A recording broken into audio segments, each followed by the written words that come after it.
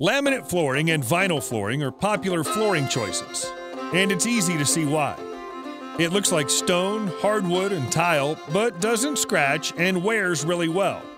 It can also be a little tricky to clean. In this video, I'll show you a simple DIY floor cleaning spray. To make about 16 ounces, or enough to fit in a spray bottle, follow this recipe 5 ounces white vinegar, 5 ounces rubbing alcohol, 5 ounces water. Use distilled or filtered water for best results and no streaks.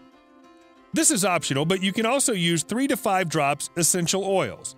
Lemon, lavender, orange, or peppermint is a great combination for this recipe. And a glass spray bottle. Combine the ingredients and pour into a spray bottle or spray mop and use weekly or more if necessary. The combination of vinegar and rubbing alcohol makes an excellent streak free cleaner and sanitizer.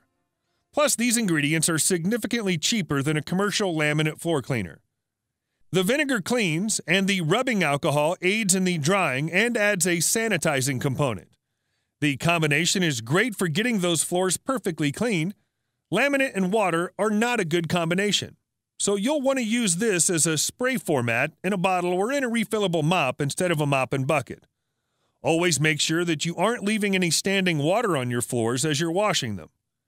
You'll want to use a glass spray bottle to store your cleaner since essential oils can degrade in plastic. Consider a dark color like blue or amber, which will keep your floor cleaner stable. If you won't be using your entire floor cleaner mixture at once, you'll want to use distilled water to keep your cleaner stable. If you don't want to buy distilled water, you can also boil tap water. If you have hardwood floors, then don't use this recipe, as the high ratios of rubbing alcohol and vinegar aren't compatible with your floors. I hope you've enjoyed this video. If you have, please subscribe to this YouTube channel and don't forget to give this video the thumbs up.